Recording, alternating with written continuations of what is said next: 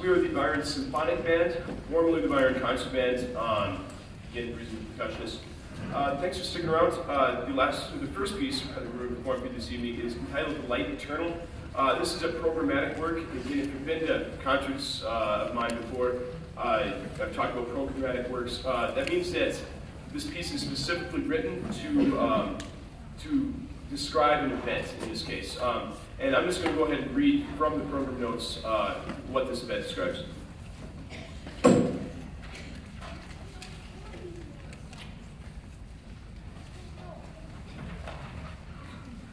So on February 3rd, 1943, the SS Dorchester, an American troop transport vessel, sank in the icy waters off the coast of Greenland, the victim of a German U-boat.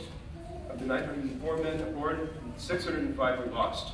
Among those who perished were four Army chaplains, each of a different faith, each called to the same duty. The testimony of the survivors tells the story best.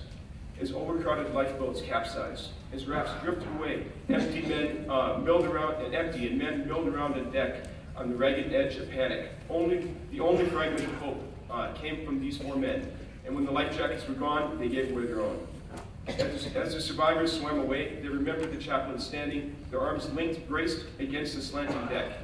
They were praying words in Latin, Hebrew, and English addressed to the same God.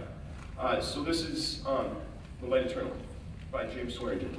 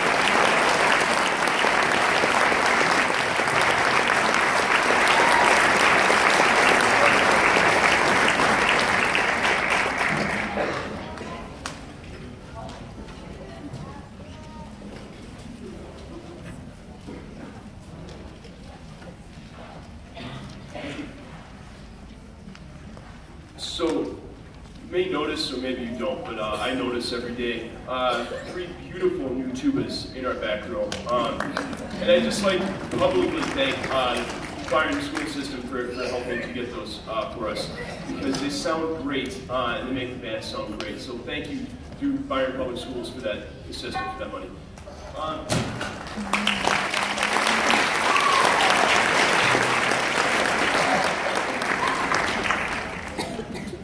So our next piece is entitled Brazilian Bell Carol. Um, it's, it's nice and cold out, so it's not bad to uh, imagine that we might be in Rio de Janeiro this time of the year. Um, carnival's going on, you know, just hanging out. Um, so this uh, piece sort of features a percussion section, not just sort of, it definitely features the percussion section. Uh, sort of organized into a samba line, so uh, you can imagine you're, you're watching a parade during Carnival uh, in Rio or, or Sao Paulo or whatever you know, Brazilian city you want to be in.